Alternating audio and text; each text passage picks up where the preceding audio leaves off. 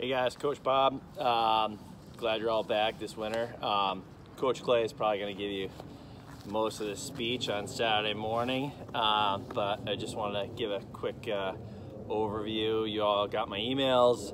Uh, I've been getting the paperwork in. That's good.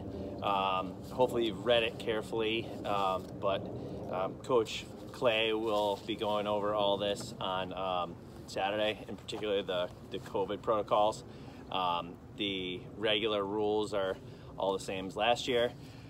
Um, and other than that, I think he came to the right place this year. You know, small club, local club, seasonal club is, is the place to be. It's easy to manage or easier to manage.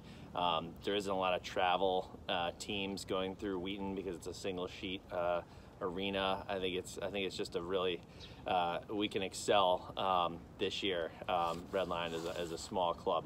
Um, sometimes there's uh, scale and big is good, and this is not one of them. Um, so uh, I hope you have a great season. Um, if you have any questions, just shoot me an email, rlacmetros at gmail.com. Um, and Saturday's session uh, will be Facebook Live. Have somebody uh, Facebooking it, so anyone in the parking lot or at home or anywhere in the world, you have family, friends want to watch practice, I'll be watching, uh, can tune in. All right, see you later. Have your practice.